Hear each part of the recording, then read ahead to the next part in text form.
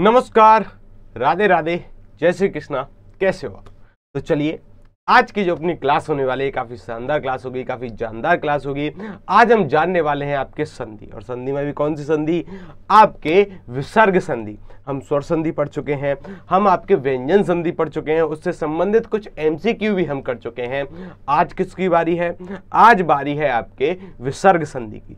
विसर्ग संधि जानेंगे कि विसर्ग संधि से किस किस प्रकार के नियम होते हैं, किस कौन कौन से नियम के अकॉर्डिंग विसर्ग बदलता है किसमें बदलता है, आपकी जो प्रीवियस ईयर की परीक्षा हुई है, उनमें विसर्ग संधि को लेकर किस किस प्रकार के क्वेश्चन आए हैं, या फिर आगे आपके किस किस प्रकार के क्वेश्चन आने की संभावना है?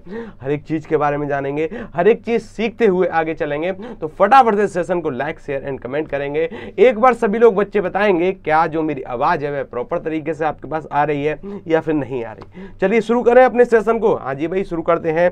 चलिए। तो जी हाँ रिमझिम शुक्ला जी हमारे साथ जुड़ चुकी हैं। गुरु जी गुरु जी प्रणाम। अच्छा प्रणाम सर जी हाँ भाई, प्रणाम, आपका बहुत बहुत स्वागत है रिमझिम जी। चलिए, देखो, अगर आपको इस क्लास की पीडीएफ चाहिए, तब आप ये क्यूआर कोड स्कैन करेंगी और वहाँ से वहाँ से आप किसी भी क्लास की पीडीएफ डाउनलोड कर पाओगी। चलिए, आगे चलते हैं। देखो, क्या है? देखो, विसर्ग संधि। हम क्या पढ़ने जा रहे हैं? विसर्ग संधि। अब विसर्ग किसको कहते हैं? हम सभी को पता है कि विसर्ग इसको कहा जाता है। ये चीज़ क्लियर हो गई। अब विसर्ग संधि में पढ़ने से पहले ना हमको इसके थोड़े बहुत नियम पढ़ने हैं। नियम कैसे? जैसे देखो, विसर्ग के पहले यदि आ और बाद में भी आ अथवा वर्गों के तीसरे, चौथे और पाँचवें वर्ड आ जाएँ। कौन से? तीसरे, चौथे और पाँचवें। इनको हम किस नाम से जानते हैं? इनको हम अघोष के नाम से जानते हैं। किसके नाम से जानते हैं? अघोष के नाम से जानते हैं। और साथ के साथ आपके य, र, ल, ब। य, र, ल, ब। और इनको हम किस नाम से जानते हैं? इनको हम अंत्यस्त व्यंजन के नाम से जानते हैं। किसके नाम से जानते हैं? अंत्यस्त व्यंजन के नाम से जानते हैं। अगर ये विसर्ग के बाद आते हैं ना तो विसर्ग किसमें परिवर्तित हो जाता है? विसर्ग आपका ओ में परिवर्तित हो जाता है। किसमें परिवर्तित हो जाता है? ओ में। लेकिन अब कई सारे बच्चे कहेंगे, सर, हमने गुण संधि के अंतर्गत पढ़ा था कि वहाँ पर आपकी ए की मात्रा आती थी और छोटे ओ की मात्रा आती थी और अर का साउंड आता था। हम इन दोनों में अंतर कैसे कर पाएँगे? तो जी हाँ आपका सवाल बिल्कुल जायज़ है, लेकिन थोड़ा सा सबर रखो। आपको, जी हाँ भाई, बिल्कुल, अमित जी रिमझिम शुक्ला जी सुजाता अच्छा जी, रिमझिम जी, आप ये मेरा रिप्लाई नहीं दिया। आपने मेरा रिप्लाई नहीं दिया। अरे भाई, क्यों नहीं देंगे हम आपका रिप्लाई आपका भी स्वागत है क्लास में। चलिए, सभी बच्चों का स्वागत।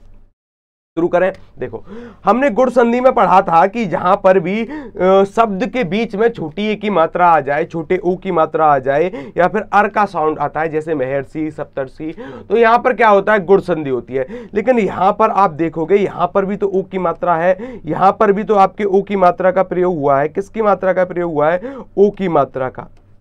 तो सर, हम फ़र्क कैसे बता पाएँगे कि ये गुड़ संधि का है या फिर ये विसर्ग संधि का? तो देखो, हमेशा फ़र्क बताने के लिए ना, आपको पता होना चाहिए कि विसर्ग के बाद क्या है?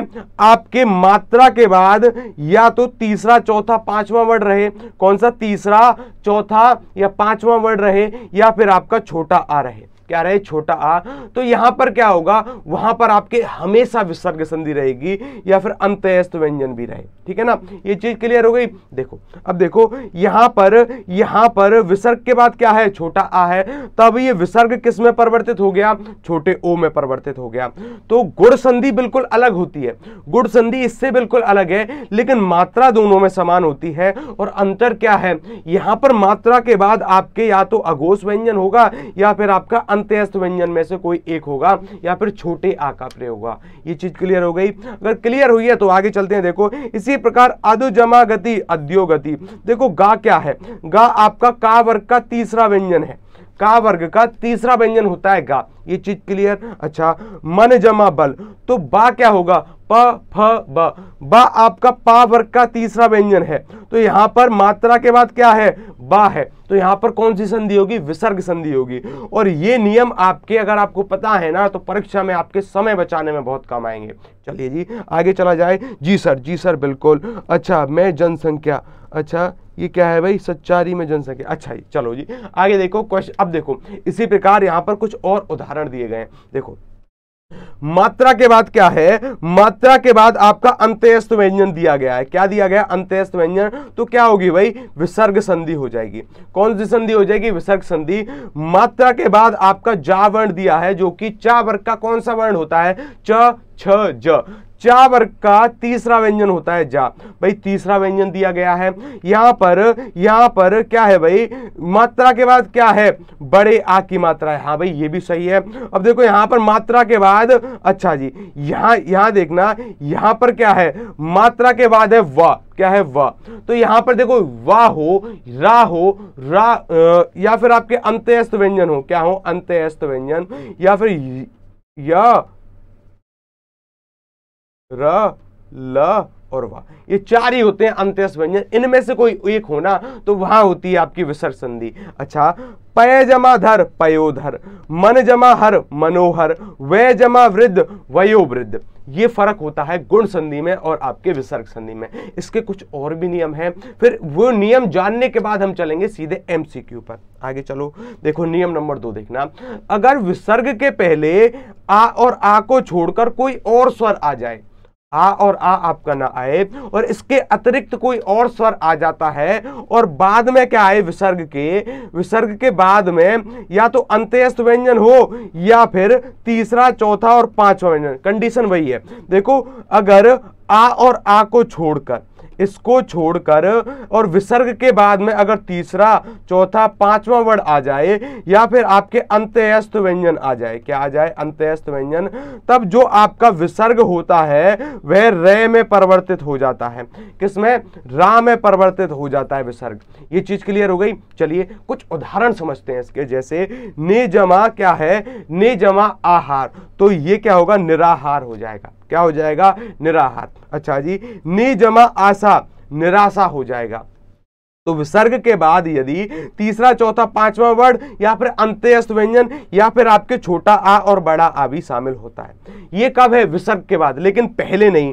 पहले देखो, विसर्ग के यहाँ पर छोटी की मात्रा है, यहाँ पर भी छोटी की मात्रा है। अगर विसर्ग के पहले छोटे आ और बड़े आ को छोड़कर कोई भी स्वर होता है और विसर्ग के बाद अगर आपके अंत्यस्त व्यंजन और अगर आपके अगोश व्यंजन होते हैं, अगर आ और आ भी होते हैं ना तो जो विसर्ग होता है रे में परिवर्तित हो जाता जाता है। अच्छा जी, निरोग। हाँ भाई, बिल्कुल। चलिए, आगे चलते हैं। अब आगे देखना, ये है नियम नंबर तीन। क्या है? देखना, अगर विसर्ग के पहले कोई भी स्वर हो, क्या हो? अगर विसर्ग के पहले आपका कोई भी स्वर होता है और विसर्ग के बाद चे या छ, या फिर से होता है तो ये जो विसर्ग होगा, ये आपके से में परिवर्तित हो जाएगा। किसमें से में परिवर्तित हो जाएगा। जैसे देखो, विसर्ग के बाद क्या है? चे है। तो ये जो विसर्ग होगा, ये से में परिवर्तित हो जाएगा। किसमें से में।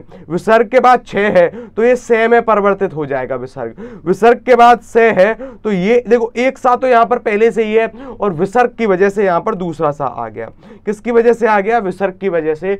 दु जमा शासन दुशासन ने जमा छल निश्चल। ने जमा चल, निश्चल। ठीक है? ये चीज़ क्लियर होगी और इसी के आधार पर हम एमसीक्यू करने वाले हैं। निश जमा चे निश्चय। ने जमा छल, निश्चल। अभी अभी पढ़ा है ना? ने जमा तार, निस्तार। ने जमा सार, निस्सार। ने जमा शेष निश्चेष आगे चलो। आगे चलो भाई। देखो, नियम नंबर चार है अब आपके सामने। नियम नंबर चार क्या कहता है हमसे? देखो, अगर आपको ये नियम समझ में आ गए ना तो हर एक एमसीक्यू का आप चुन चुन कर आंसर करोगे। विसर्ग के बाद यदि ता या सा होता है तो विसर्ग का से बन जाता है। क्या बन जाता है? से बन बन जाता है। जैसे देखो, यहाँ पर भी हमने कुछ इसके उदाहरण देखे थे। विसर्ग के बाद क्या है? से है और ते है। यहाँ पर जो विसर्ग परिवर्तित हुआ है, से में परिवर्तित हो गया है। किसमें से में परिवर्तित हो गया है। ये चीज़ क्लियर चलो, इसका कुछ और उदाहरण देखते हैं। जैसे देखना, नम जमा ते देखो, विसर्ग के बाद क्या आया है? ता का प्रयोग किया है। तो विसर्ग किसमें परिवर्तित हो जाएगा? से में परिवर्तित हो जाएगा। किसमें परिवर्तित हो जाएगा? से में। नम जमा ते, नमस्ते। ने जमा संतान, ने संतान। क्या होगा? निसंतान होगा। दो जमा साहस, दुस्साहस। और दुस्साहस आपका यूपी पुलिस में पूछा हुआ प्रश्न है। दुस्साहस को यूपी पुलिस में पूछा गया है।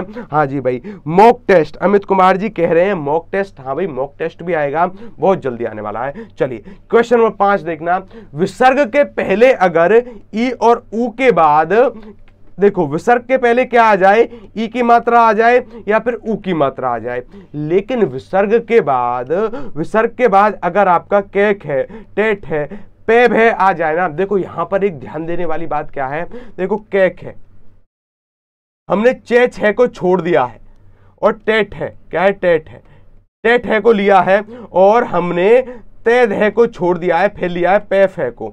मतलब हमने चे छह को छोड़ दिया और हमने टेट है को छोड़ सॉरी तेद है को छोड़ दिया। तो यहाँ पर हमने लिया है, के खे लिया है टेट है लिया है पेफ है लिया है।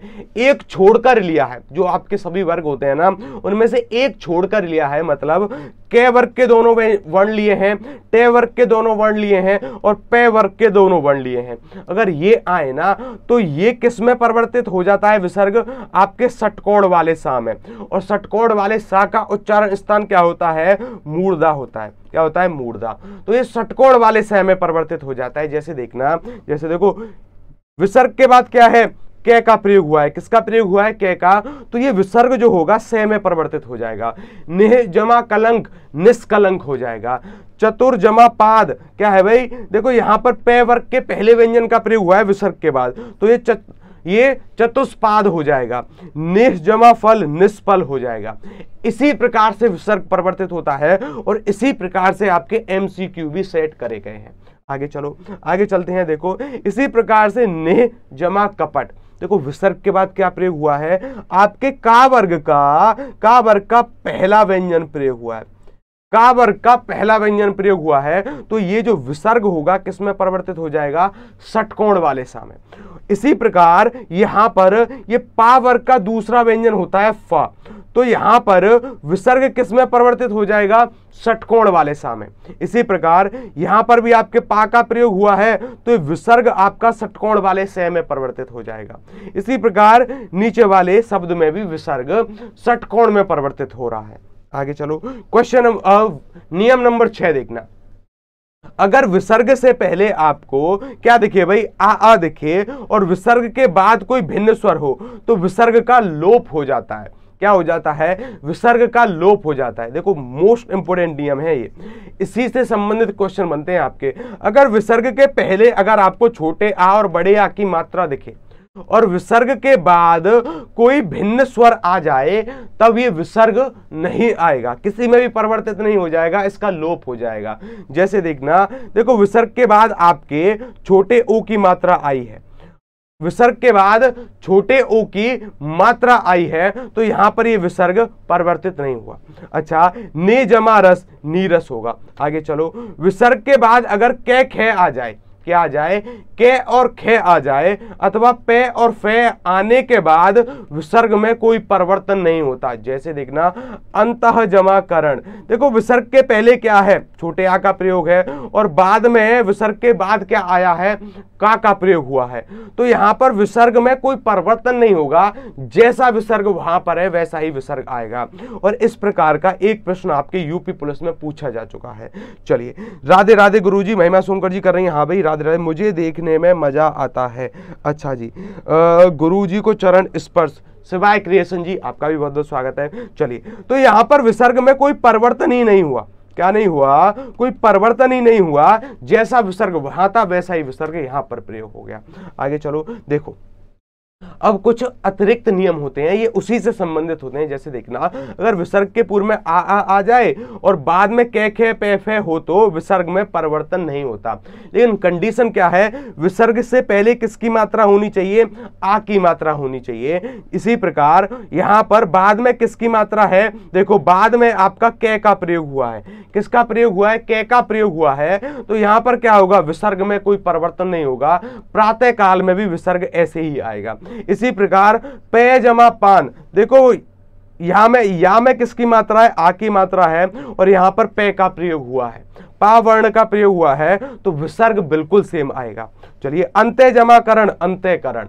ये सब चीज़ क्लियर है? चलिए, फिर हम चलते हैं अपने एमसीक्यू की तरफ़। एमसीक्यू के माध्यम से समझने की कोशिश करेंगे।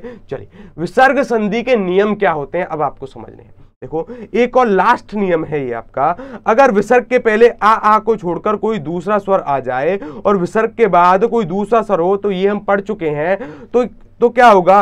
विसर्ग में क्या हो जाता है? रे हो जाता है और ये हम पढ़ चुके हैं। चलिए, देखो, इसके कुछ उदाहरण है। ने जमा उपाय। देखो, विसर्ग से पहले क्या है?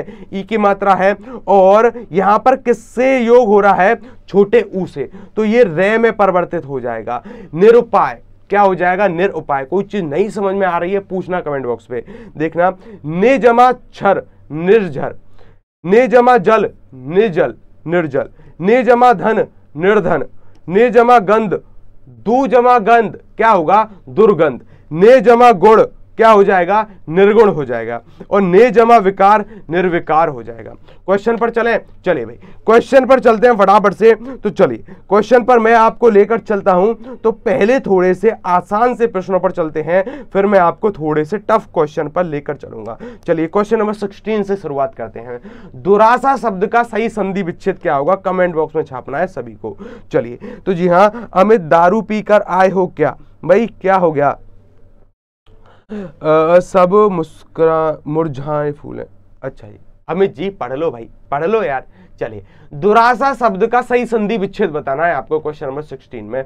क्या होगा? क्वेश्चन नंबर 16 का आंसर किस किसने दिया है? देखो यहाँ पर ये जो रैम में परिवर्तित हुआ है, ये किस नियम के अनुसार हुआ है? देखो, अगर विसर्ग से पहले आपके आ और आ को छोड़कर कोई और स्वर आता है और विसर्ग के बाद अगर आ आ जाए या फिर तीसरा, चौथा, पांचवा वर्ण आ जाए या फिर अंत्यस्त व्यंजन आ जाए तो विसर्ग किसमें परिवर्तित हो जाता है? रे में परिवर्तित हो जाता है। देखो, यहाँ पर देखना, यहाँ पर इसका सही उत्तर क्या होगा? देखो, विसर्ग के पहले ना तो छोटा आ है, ना आपका बड़ा आ है। विसर्ग के बाद है आपका बड़ा आ। तो ये जो विसर्ग होगा, ये रे में परिवर्तित हो जाएगा। किसमें परिवर्तित हो जाएगा? रे में। तो क्वेश्चन नंबर सिक्सटीन का सही उत्तर क्या होगा? बी हो जाएगा। क्या हो जाएगा? क्वेश्चन नंबर सिक्सटीन का सही उत्तर बी हो जाएगा। ये चीज़ क्लियर किस किसने दिया है? बी हाँ भाई, बिल्कुल बी बिल्कुल सही है। चलिए, अमित जी का सही है, शिल्पा सेन जी का सही है, रिमझिम शुक्ला जी का सही है। आगे चलना क्वेश्चन नंबर सेवनटीन नेह, जमा कलंक का सही संधि विच्छेद क्या होगा? सही संधि क्या होगी? अब आपको बताना है। देखो, विसर्ग से पहले किसकी मात्रा है? छोटी की मात्रा है। और विसर्ग के बाद क्या है? आपका का वर्ग का या तो पहला व्यंजन आ जाए, दूसरा व्यंजन आ जाए, या फिर आपके टे बर टे आ जाए ठे आ जाए पा आ जाए फा आ जाए। तो ये जो विसर्ग होता है ये किसमें परिवर्तित हो, हो जाता है? सटकोण वाले सा और इसका उच्चारण स्थान होता है मूर्दा क्या होती है? मूर्दा चलिए फटाफट से बताना है क्या होगा? क्वेश्चन नंबर सेवनटीन का सही उत्तर। चलिए फटाफट से बताना है। देखो विसर्ग से पहले क्या है? ना तो छोटे आ की मात्रा है ना बड़े आ की मात्रा है छोटी ई की मात्रा है। और विसर्ग के बाद क्या है? आपके के खे है टेट है, है पे फे है। तो विसर्ग किसमें परिवर्तित हो जाता है? षटकोण में परिवर्तित हो जाता है। चलिए क्वेश्चन नंबर सेवनटीन। अच्छा जी लॉकडाउन। अच्छा तो सुजाता जी कर रही है ए और सिवाय क्रिएशन जी कर रहे हैं, ए, चलिए। तो इसका जो उत्तर आ रहा है, सही क्वेश्चन नंबर सेवनटीन का, क्या होगा? निष्कलंक होगा। बिल्कुल सही उत्तर कर रहे हो। चलिए। क्वेश्चन नंबर सेवनटीन अब देखना। यहाँ पर क्या है? यहाँ पर आप कहोगे कि, सर, यहाँ पर भी तो आपके छोटे ओ की मात्रा है, तब यहाँ भी तो गुड़ संधि हो सकता है। लेकिन गुड़ संधि में हमने पढ़ा था, गुड़ संधि और विसर्ग संधि में अंतर कैसे करेंगे? देखो, यहाँ पर छोटे ओ की मात्रा के बाद क्या होगा? या तो आपका, या तो आपका प्रत्येक वर्ग का तीसरा चौथा और पांचवा वर्ड होगा, अथवा छोटा आ या फिर बड़ा आ होगा, या फिर आपके अंत्यस्त व्यंजन होंगे। क्या होंगे? अंत्यस्त व्यंजन में से कोई एक होगा। अगर ऐसे आपको मात्रा के बाद दिखे ना, समझ जाना कि यहाँ पर विसर्ग संधि होगी। क्या होगी? विसर्ग संधि होगी। देखना। यहाँ पर छोटे ओ की मात्रा के बाद एक अंत्यस्त व्यंजन दिया गया है या। क्या दिया गया या तो देख कर ही समझ जाना है कि यहाँ पर कौन सी संधि होगी? विसर्ग संधि होगी। लेकिन अब आपको बताना है कि इसका संधि विच्छेद क्या होगा? क्वेश्चन नंबर 18 का फटाफट से उत्तर आना चाहिए। क्वेश्चन नंबर 18 का चलिए। क्वेश्चन नंबर 18 का सही उत्तर क्या होगा? देखो इसमें हमने एक और कंडीशन पढ़ी थी कि विसर्ग से पहले क्या होना चाहिए? या तो छोटे आ की मात्रा होनी चाहिए, या फिर बड़े आ की मात्रा होनी चाहिए। और विसर्ग के बाद आपके इनमें से कुछ भी हो सकता है। तीसरा, चौथा, पांचवा वर्ड हो सकता है अंत्यस्त व्यंजन हो सकता है, या फिर आपके छोटे आ, या फिर बड़ा आ हो सकता है। तो देखो, यहाँ पर विसर्ग से पहले ना है, और ना में छोटे आ की मात्रा है, और विसर्ग के बाद या का प्रयोग हुआ है तो इसका सही उत्तर क्या हो जाएगा? बिल्कुल सी विकल्प हो जाएगा। किस किसने सी दिया है? मन जमा योग। सबाई जी का बिल्कुल सही है और रिमझिम शुक्ला जी का सही है और अमित जी का सही है। चलिए, बहुत बहुत प्रशांत सिंह जी का भी उत्तर एकदम से सही आ रहा है। चलिए क्वेश्चन नंबर 20 की तरफ़ चलते हैं, देखना क्वेश्चन नंबर 20 निम्न में से विसर्ग संधि अब आपको पहचाननी है। किसमें आपकी विसर्ग संधि है? क्वेश्चन नंबर 19 थोड़ा सा अच्छा प्रश्न है, फटाफट से बताना है, क्या होगा? चलिए, निम्नलिखित में से विसर्ग संधि किसमें होगी? फटाफट से बताना है question number nineteen. Question number उन्नीस के बारे में बताना है आपको, देखो। क्या है? यहाँ पर यहाँ पर आपके छोटे ओ की मात्रा है। यहाँ पर क्या है? छोटे ओ की मात्रा है। लेकिन इसके बाद में ना तो तीसरा, चौथा, पांचवा वर्ड है। ना ही आपका अंत्यस्त व्यंजन है, ना ही छोटे आ की मात्रा है, ना ही बड़े आ की मात्रा है। अच्छा तो यहाँ पर क्या होगा? फटाफट से कमेंट बॉक्स में बताना है। और यहाँ पर क्या है? यहाँ पर आपके बड़े आ की मात्रा है। यहाँ पर यहाँ पर दो ना प्रयोग हुए हैं। तो यहाँ पर कौन सी संधि होनी चाहिए? व्यंजन संधि होनी चाहिए। अब आपको बताना है, किसमें विसर्ग संधि होगी? फटाफट से छापना है कमेंट बॉक्स में। और महोदय में कौन सी संधि है फटाफट से कमेंट बॉक्स में उत्तर आना चाहिए। क्योंकि ये मैं पढ़ा चुका हूँ कि महोदय में कौन सी संधि होती है। चलिए, क्वेश्चन नंबर उन्नीस का, चलिए निर्धन। क्या है बिल्कुल निर्धन। क्या है? इसका सही उत्तर क्या हो जाएगा? बिल्कुल निर्धन हो जाएगा। क्या हो जाएगा? इसका सही उत्तर हो जाएगा निर्धन। ठीक है? क्योंकि ये हम पढ़कर आए हैं, देखना। अगर मैं आपको दिखाऊँ, चलिए भाई।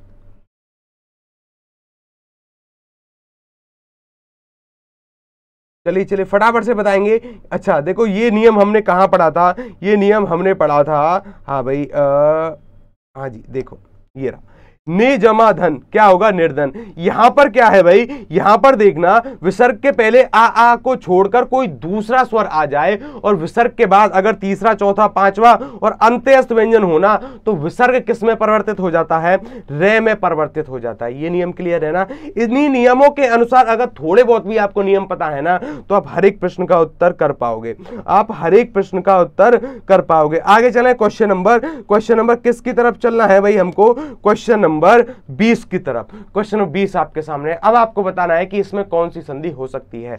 या फिर इसमें इसका संधि विच्छेद क्या होगा? फटाफट से बताना है कमेंट बॉक्स में। हाँ जी भाई, प्रशांत जी, गुड़ संधि गुड़ संधि। क्या बात है? प्रशांत सिंह सिंह जी ने बिल्कुल सही उत्तर दिया है। चलिए सूर्योदय में किस प्रकार क्या संधि विच्छेद होगा? फटाफट से बताना है। कौन सा संधि विच्छेद निकलता है? और ये किस नियम के अनुसार होता है? चलिए, फटाफट से बताओगे। क्वेश्चन नंबर बीस का सही उत्तर क्या होगा? देखना भाई। क्वेश्चन नंबर बीस। चलिए क्वेश्चन नंबर बीस के बारे में बताना है आपको। क्वेश्चन नंबर बीस का सही उत्तर क्या होगा? फटाफट से बताना है। चलिए चलिए, फटाफट से बताओगे क्वेश्चन नंबर बीस का सही उत्तर क्या होगा? किस, किसने क्वेश्चन नंबर बीस का बी क्या दिया बीस का बी क्या दिया बीस का बी अच्छा जी, देखो, हम पढ़ क्या रहे हैं? विसर्ग संधि। तो यहाँ पर विसर्ग होना तो अनिवार्य था। क्या है? विसर्ग होना तो अनिवार्य था क्योंकि विसर्ग संधि के उदाहरण देख रहे हैं। यहाँ पर क्या आएगा? सूर्योदय में क्या है? एक तो आपकी विसर्ग संधि है। कौन सी संधि है? विसर्ग संधि है। तो सूर्य जमा उदय क्या हो जाएगा? सूर्योदय हो, हो जाएगा। सूर्य जमा उदय क्या होगा? सूर्योदय होगा। ये चीज़ क्लियर है? चलिए।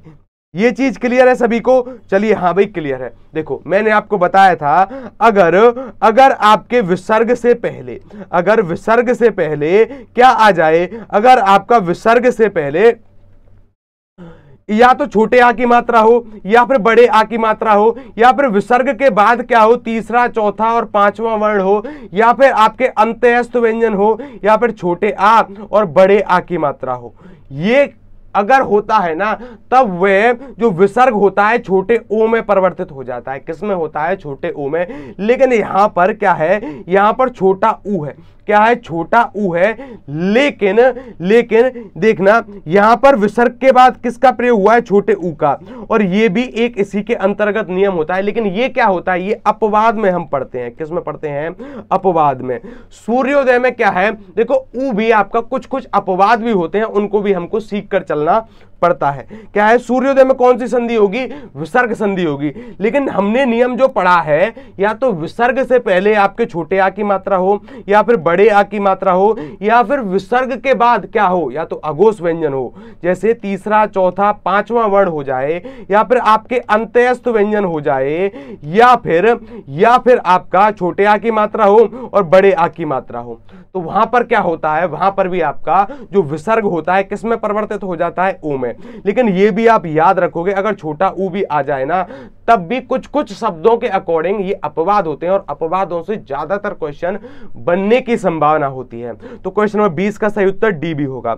चलिए बीस का बी सौ परसेंट होगा, बीस का बी नहीं भाई, इसका सही उत्तर क्या होगा? इसका सही उत्तर डी हो जाएगा। चलिए, निम्न में से किस शब्द में विसर्ग संधि नहीं है? अब आपको बताना है। देखो, अब हमको क्या पहचानना है? किसमें विसर्ग संधि नहीं है?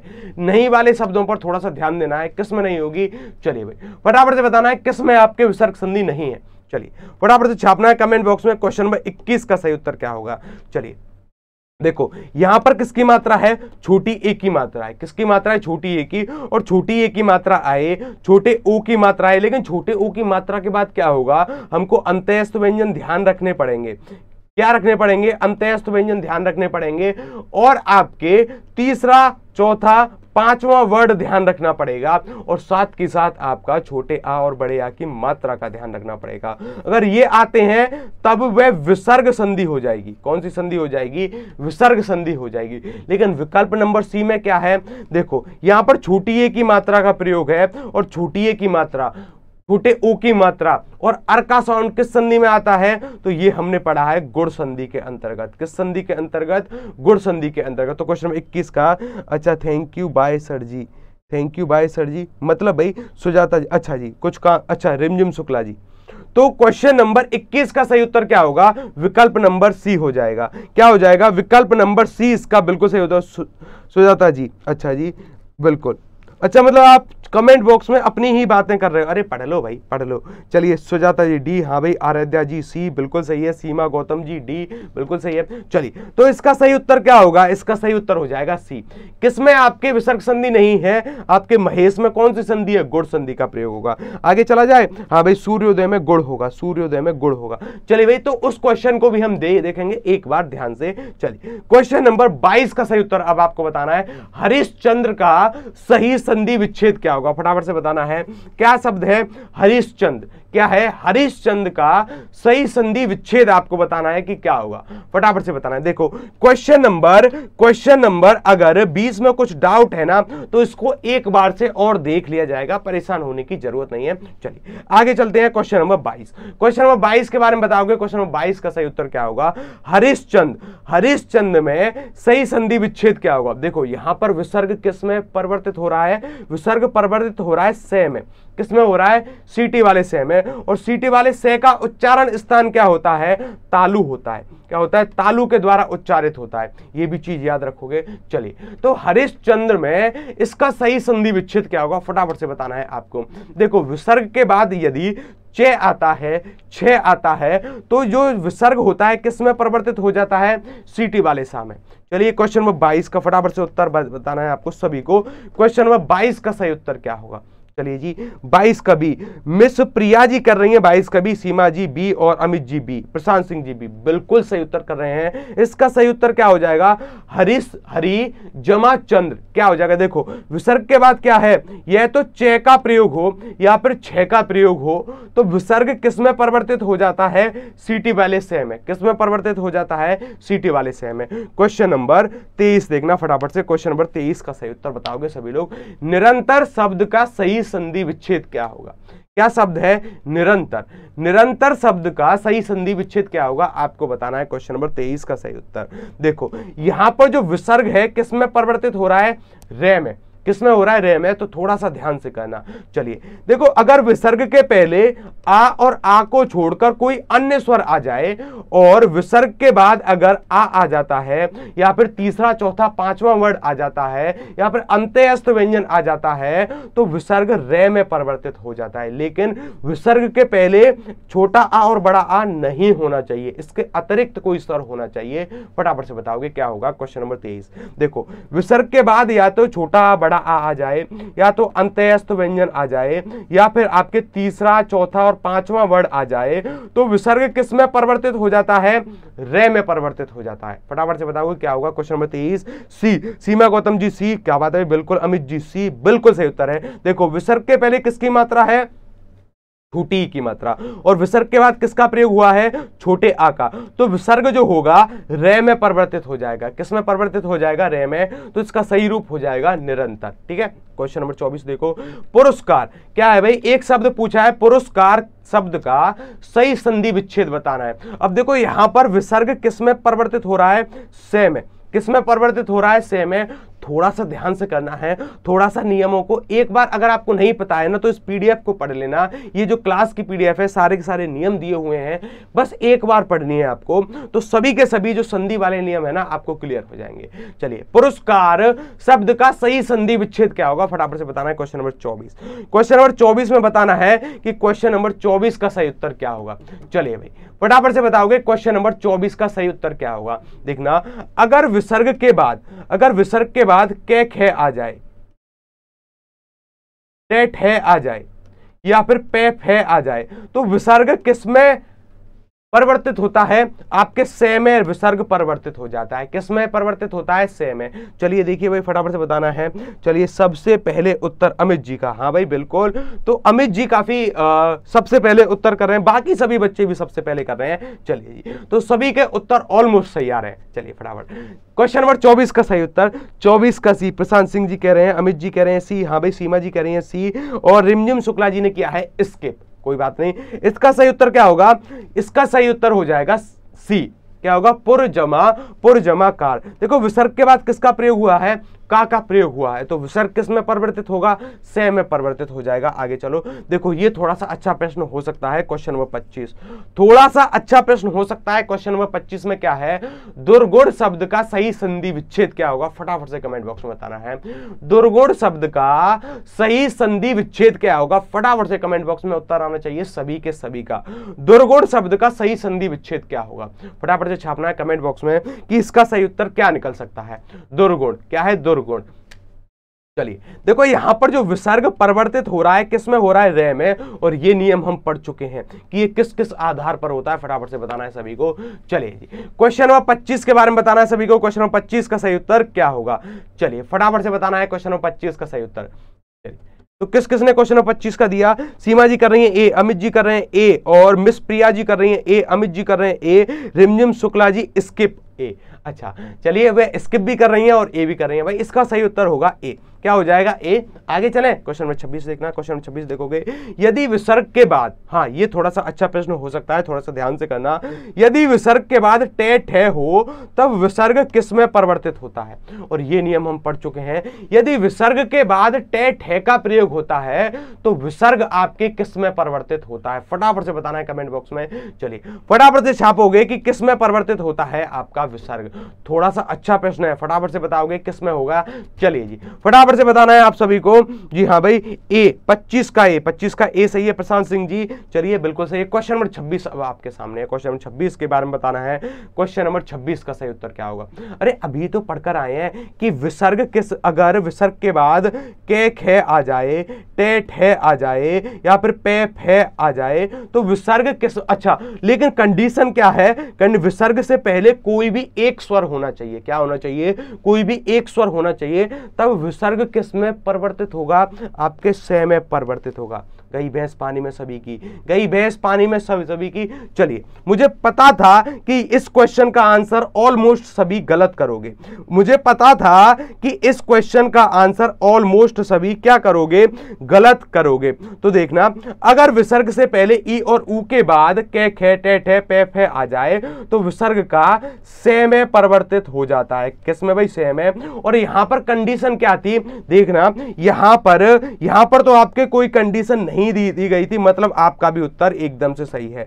मतलब आपका भी उत्तर एकदम से सही हो सकता है। अगर इसमें कहता अगर ई की मात्रा आ जाए या फिर ऊ की मात्रा आ जाए तब क्या होगा भाई? तब आपका से में परिवर्तित हो जाता। लेकिन अभी क्या है अभी से भी होगा और षटकोण वाला से भी होगा। देखो एक चीज़ हमेशा याद रखना सीटी वाले से का उच्चारण स्थान तालु होता है। क्या होता है? तालु। और सवाल वाले से का क्या होता है? दंत होता है। और षटकोण वाले से का होता है मूर्दा क्या होता है? मूर्दा यहाँ से भी क्वेश्चन बन सकता है।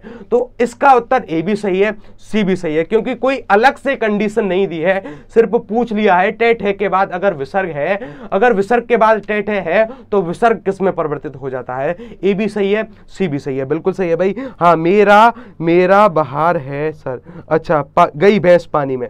नहीं भाई, इस बार आपकी भैंस पानी में जाने से थोड़ा थोड़ा बच गई क्योंकि यहाँ पर कंडीशन नहीं दी गई है। दोनों ही उत्तर सही है। चलिए विसर्ग के बाद अगर क्या है भाई? विसर्ग के बाद अगर केक है और पेफे आए तब विसर्ग का परिवर्तन किसमें होगा? देखो ये भी काफ़ी अच्छा क्वेश्चन है उसी से मिलता जुलता सवाल है। उसी से मिलता जुलता सवाल है। देखो अगर इसका आंसर आपको नहीं पता देखो अगर यहाँ पर षटकोण भी हो, होता ना अगर यहाँ पर षटकोण भी होता तब भी आपको बताना है। चलिए विसर्ग के बाद क्या है? केक है और पेफे आए तो। तब विसर्ग किसमें परिवर्तित होगा? क्वेश्चन नंबर सत्ताईस। फटाफट से बताओगे क्वेश्चन नंबर सत्ताईस का सही उत्तर क्या होगा? चलिए तो क्वेश्चन नंबर सत्ताईस के बारे में बताना है। क्वेश्चन नंबर सत्ताईस का सही उत्तर क्या होगा? चलिए। पत्थर को जोंक नहीं लगती। हाँ जी भाई, बिल्कुल। जिसकी लाठी, उसकी भैंस। हाँ भाई, बिल्कुल। प्रशांत भाई, चलिए भाई। तो फटाफट से बताओगे कि विसर्ग के बाद अगर कैखे आ जाए तो विसर्ग किसमें परिवर्तित होता है? कैखे आ जाए या फिर पैफे आ जाए? देखो, हमने एक नियम पढ़कर आए हैं हम। एक नियम हम पढ़कर आए हैं। कौन सा वाला? एक नियम हमने पढ़ा था। यही कहीं पर था भाई। देखो भाई, बिल्कुल। देखो अगर विसर्ग के पूर्व अगर छोटा आ आ जाए और बड़ा आ आ जाए, क्या आ जाए? छोटा आ आ जाए या फिर बड़ा आ आ जाए और बाद में अगर के, खे, पे, फे आ जाए तो विसर्ग परिवर्तित नहीं होता है। लेकिन कंडीशन क्या होनी चाहिए? विसर्ग के पहले होना चाहिए छोटा आ। क्या होना चाहिए छोटा आ? और उस वाले प्रश्न में हमको कोई भी कंडीशन नहीं दी है। उस वाले प्रश्न में हमको कोई भी कंडीशन नहीं दी गई है। मतलब इसका उत्तर क्या हो सकता है? इसका उत्तर एक तो डी भी होगा। क्या होगा? एक तो डी भी होगा और ए भी होगा। क्या होगा? ए भी होगा। थोड़ा सा ध्यान से प्रश्नों को करने की ज़रूरत है। अगर मैं पूछता हूँ कि इसमें अगर विसर्ग से पहले छोटा आ और बड़ा आ आ जाए, और विसर्ग के बाद क्या हो? के खे हो, क्या हो के खे हो, और पे फे आ जाए, तब विसर्ग किसमें परिवर्तित हो जाएगा? आपके विसर्ग परिवर्तित ही नहीं होगा। विसर्ग परिवर्तित ही नहीं होगा। अगर विसर्ग से पहले छोटा आ है, बड़ा आ है, और विसर्ग से बाद क्या है? कै खे है। तो विसर्ग परिवर्तित नहीं होगा। क्वेश्चन नंबर सत्ताईस का किसने दिया है भाई? अच्छा कोई नहीं कोई नहीं, नोटा नोटा नोटा। हाँ जी भाई, बिल्कुल। अच्छा आपको जोक लगेगा पक्का। अरे भाई, पढ़ लो यार, पढ़ लो। थोड़ा बहुत पढ़ने पर ध्यान दो, ठीक है ना? ये नियम आपको बार बार कोई नहीं बताएगा। चलिए। तो क्या है? क्वेश्चन नंबर 27 का क्या होगा? इसका उत्तर ए भी हो सकता है और सी भी चलिए क्वेश्चन नंबर 28 देखना। ये भी थोड़ा सा अच्छा प्रश्न बन सकता है। सबसे पहले देखते हैं कि इसमें कंडीशन क्या दी गई है। दी भी गई है या फिर नहीं दी गई है? चलिए, यदि विसर्ग के पहले आ स्वर और आगे आ अथवा कोई अगोश व्यंजन आ जाता है, तब विसर्ग किसमें परिवर्तित हो जाता है? भाई, यहाँ तो आपकी कंडीशन दी है। हमको कहा है, विसर्ग के पहले यदि आ आ जाए और विसर्ग के बाद अगर आ के साथ कोई अगोश व्यंजन आ जाए, क्या आ जाए? अगोश व्यंजन आ जाए। और मैं इसमें एक और चीज़ ऐड करता हूँ। अगोश के साथ साथ क्या आ जाए भाई? कोई अंत्यस्त व्यंजन भी आ जाए, क्या आ जाए? कोई अंत्यस्त व्यंजन भी आ जाए, तब जो विसर्ग होगा किसमें परिवर्तित होगा? अंत्यस्त व्यंजन मतलब ये, रे ले वे। तब विसर्ग आपका किसमें परिवर्तित होगा? फटाफट से कमेंट बॉक्स में बताना है। सी, ई में ई में। अमित कुमार जी कर रहे हैं ई में। हाँ जी भाई तो जिन भी बच्चों ने ई उत्तर दिया है, गलत हो गया। अरे कई बार तो बताया है, ओ में ओ में परिवर्तित होगा। पहला ही नियम क्या था? पहला ही नियम यही था कि अगर अगर आपके, अगर विसर्ग के बाद अगर छोटा आ आ जाए, बड़ा आ आ जाए, या फिर कोई अघोष व्यंजन आ जाए, या फिर कोई अंत्यस्त व्यंजन आ जाए, तब तब जो विसर्ग होगा, तब जो विसर्ग होगा, किसमें परिवर्तित हो जाएगा? आपके छोटे ओ में परिवर्तित हो जाएगा। लेकिन कंडीशन क्या होनी चाहिए? विसर्ग से पहले या तो छोटा आ होना चाहिए, या फिर आपका बड़ा आ होना चाहिए। ये कंडीशन होनी चाहिए। तो ये परिवर्तित किसमें हो जाएगा छोटे ओ में। हमने गुड़ संधि और विसर्ग संधि में इसी को लेकर तो अंतर बताया था कि अगर यहाँ पर आपके जैसे क्या है भाई, जैसे हमने कुछ उदाहरण भी करे थे तो वहाँ पर दे, देखा था छोटे ओ की मात्रा के बाद अगर आपका अंत्यस्थ व्यंजन है या फिर आपका अगोश व्यंजन है या फिर छोटा आ और बड़ा आ है तो वहाँ पर क्या होगा? विसर्ग संधि होगी। जी हाँ भाई, बिल्कुल, ओ आ जाएगा, ओ आ जाएगा, ओ आ जाएगा। चलिए रेमजम शुक्ला जी का सही है। की तरह अच्छा सबका जियो की तरह पक्का। अच्छा जी, बिल्कुल। सी बिल्कुल सही है। हाँ भाई सीमा जी का बिल्कुल सही है। सीमा जी का बिल्कुल सही है। अरे आप कंफ्यूज क्यों हो? देखो, ये पहला ही तो नियम था पहला ही तो था ये नियम कि यहाँ पर क्या है भाई? यदि आ और आ के बाद वर्गों के तीसरे, चौथे, पाँचवें वर्ण मतलब क्या आपके अगोश वर्ण आ जाएँ और अंत्यस्थ व्यंजन आ जाएँ तो जो विसर्ग का ओ में परिवर्तन हो जाता है। और गुड़ संधि में क्या होता है? वहाँ पर ओ में परिवर्तन होता है, लेकिन उसके बाद में आपके ओ की मात्रा के बाद में ना तो ना तो आपका तीसरा, चौथा, पांचवा वर्ड रहेगा, ना आपका अंत्यस्थ व्यंजन रहेगा। तो इन चीज़ों पर थोड़ा सा ध्यान देना है। आगे चलें। आगे चलते हैं भाई, क्वेश्चन नंबर ट्वेंटी नाइन देखते हैं। क्वेश्चन नंबर ट्वेंटी नाइन क्या, कहा गया क्वेश्चन नंबर ट्वेंटी नाइन? भाई अपना क्वेश्चन नंबर ट्वेंटी नाइन ये। रहा ने जमा योग थोड़ा सा ध्यान से करोगे। क्या है? ने जमा योग। इस शब्द का सही संधि विच्छेद क्या होगा? फटाफट से बताना है आप सभी को। ने जमा योग का, ने जमा रोग का सही संधि विच्छेद क्या होगा? फटाफट से बताना है। Hello sir, Jitendra Sahu ji. Hello sir हाँ भाई देखो, हेलो, हाय, इन सभी का जमाना हो गया पुराना। अच्छा मुझे लगता है कि आपके ना अभी संधि के डाउट क्लियर नहीं हुए हैं थोड़े बहुत। तो मैं क्या सोच रहा हूँ, कल कल आपके स्वर संधि और आपके व्यंजन संधि और आपके विसर्ग संधि क्या है? विसर्ग संधि। इन तीनों से एमसीक्यू लेकर आने की सोच रहा हूँ। मिक्स क्वेश्चन होंगे। एक प्रैक्टिस सेट होगा लगभग सत्तर क्वेश्चन का। उसमें सत्तर क्वेश्चन होंगे और आपके स्वर संधि से भी क्वेश्चन होंगे। स्वर संधि में जितनी भी संधियाँ आती हैं, या फिर गुड़ संधि गुड़ संधि अयादि संधि, वृद्धि संधि, या फिर आपके दीर्घ संधि, इन सभी संधियों को लेकर सभी प्रश्न रहेंगे। व्यंजन संधि से सभी प्रश्न रहेंगे। विसर्ग संधि से सभी प्रश्न रहेंगे। अगर आपको ये प्रैक्टिस सेट चाहिए तो कमेंट बॉक्स में लिखना यस अन्यथा हम अपनी क्लास को ऐसे ही कंटिन्यू करते चलेंगे। लेकिन मेरा मानना यह है कि एक बार सभी के सभी संधियों की प्रैक्टिस कर लेनी चाहिए। कल मैं प्लान कर रहा हूँ कि कल आपके, कल दोपहर बारह बजे वाली क्लास में, इसी क्लास में तो संधि के सभी के सभी जो भी हमने तीनों प्रकार की संधि पढ़ी है ना, उनके बारे में एक एक बार फिर से पढ़ लिया जाए एमसीक्यू के माध्यम से, ताकि एक बार फिर से चीज़ें पक्की हो जाए। ठीक है ना? चलिए क्वेश्चन नंबर उनतीस का उत्तर बताना है। चलिए, निरोग यूँ ही यूँ ही सही है। अच्छा भाई, बिल्कुल बिल्कुल। इसमें कोई भी परिवर्तन नहीं होगा। इसका सही उत्तर क्या होगा? क्वेश्चन नंबर ट्वेंटी नाइन का निरोग हो जाएगा। क्या हो जाएगा? निरोग, विसर्ग इसमें गायब हो जाएगा। क्या हो जाएगा? गायब। और ये गायब किस नियम के अनुसार होता है? मैं अभी अभी बता चुका हूँ। अभी अभी पढ़ाकर आ रहा हूँ तो अगर कोई बच्चा अभी जुड़ा है तो वो थोड़ा सा पीछे से वीडियो को देख सकता है। क्वेश्चन नंबर तीस देखना।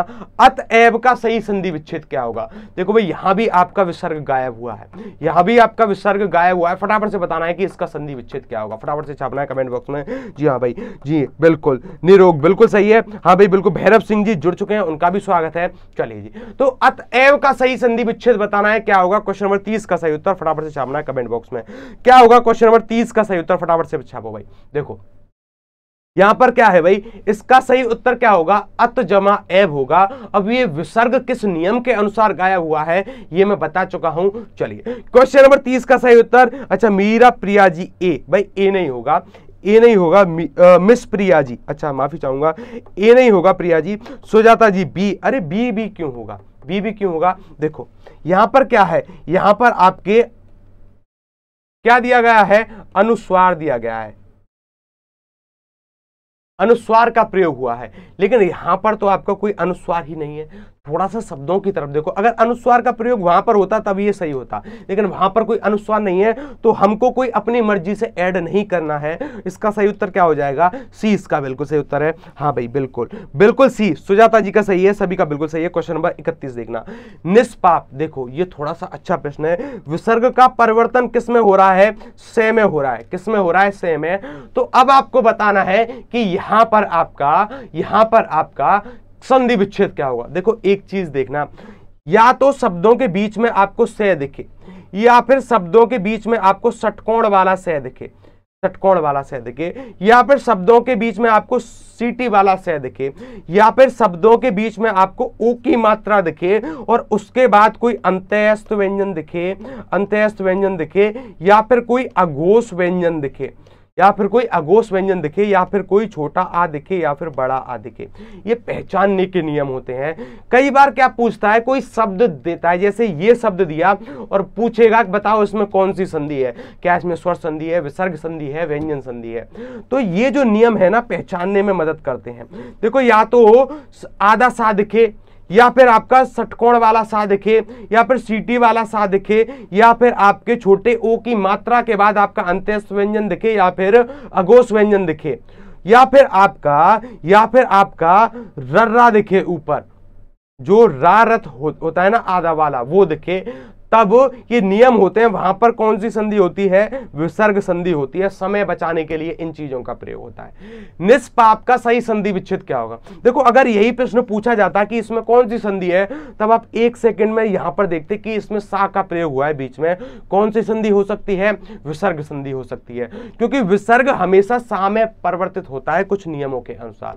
फटाफट से बताओगे क्या होगा? क्वेश्चन नंबर इकतीस का सही उत्तर। अच्छा जी, देखो, क्वेश्चन नंबर इकतीस का सही उत्तर क्या होगा? बच्चे बच्चे ने ने उत्तर सही दिया होगा। क्या होगा भाई? नेह जमा पाप। क्या होगा? ने जमा पाप होगा। अब ये किस नियम के अनुसार होता है? देखो, विसर्ग से पहले किसकी मात्रा है? छोटी ई की मात्रा है। या छोटी ई की मात्रा हो अथवा छोटे ऊ की मात्रा हो, और विसर्ग के बाद अगर पे हो, फे हो, कै हो, खे हो, और टे हो, ठे हो तो विसर्ग किसमें परिवर्तित होता है, विसर्ग आपका स में परिवर्तित हो जाता है। किसमें स में। ये नियम हमको याद रखने हैं। चलिए जी जी हाँ कुछ लोग अभी सोकर उठे हैं। अच्छा जी, कोई बात नहीं। चलिए जी तो फटाफट से बताना है आपको, क्वेश्चन नंबर बत्तीस अब आपके सामने है। भास्कर, क्या है भास्कर? देखो, ये उसी नियम के अनुसार विसर्ग किसमें परिवर्तित हुआ है? में परिवर्तित हुआ है। अगर पूछ लेता कि भास्कर में कौन सी संधि है, एक सेकेंड में उत्तर आना चाहिए था कि सर इसमें विसर्ग संधि होगी। कौन सी संधि होगी? होगी, विसर्ग संधि होगी।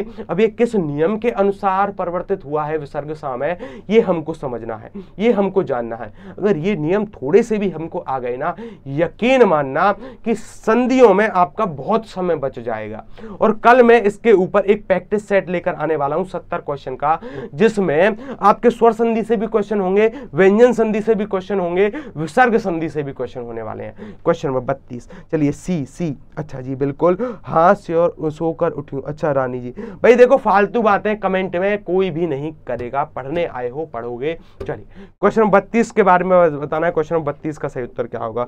बत्तीस का डी अच्छा अमित कुमार जी कर रहे हैं बत्तीस का डी बत्तीस का डी अच्छा जी, बत्तीस का D D D D D अच्छा जी डी और कई लोग कर रहे हैं सी कई लोग कर रहे हैं सी चलिए तो ये क्वेश्चन दिया मैंने आज का आपका होमवर्क कल आपको ये घर से कर कर लेकर आना है और फटाफट से बताना है कि ये किस नियम के अनुसार परिवर्तित होता है।